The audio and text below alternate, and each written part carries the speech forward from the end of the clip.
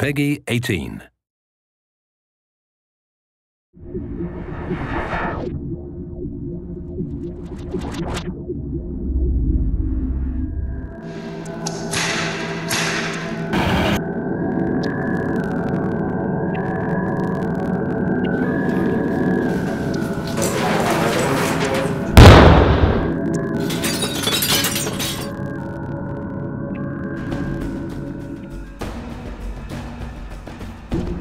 And what we wanted to achieve with the Rise trailer was a, a, different tone for video game advertising. We really liked the idea that it supported Connor's motivations and highlighted that not just Connor, but the whole world was fighting back against various forms of oppression.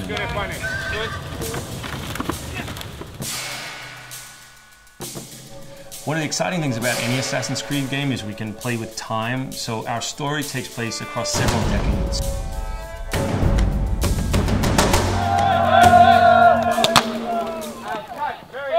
Something we were really interested in, in in the creation of Connor was creating an assassin who was different to those characters we'd created before. It was with the Rise trailer, I think it engages with people on an emotional level. Uh, it's something that they might be used to seeing more in terms of TV or cinema.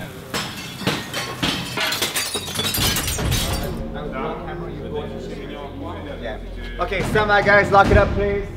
Yeah, we're about to film a, a battle scene from the uh, American Revolution War. Ironically, I'm a Brit and I'm playing a, a patriot. My favorite elements of the Rise trailer is the idea that it'll reach an audience who perhaps would not be interested in a traditional video game trailer. Um, it was interesting. I've never worked with um, such small children before. Um, so getting them to react, to be terrified was interesting because they just carried on laughing. Apart from that, just working the acts really.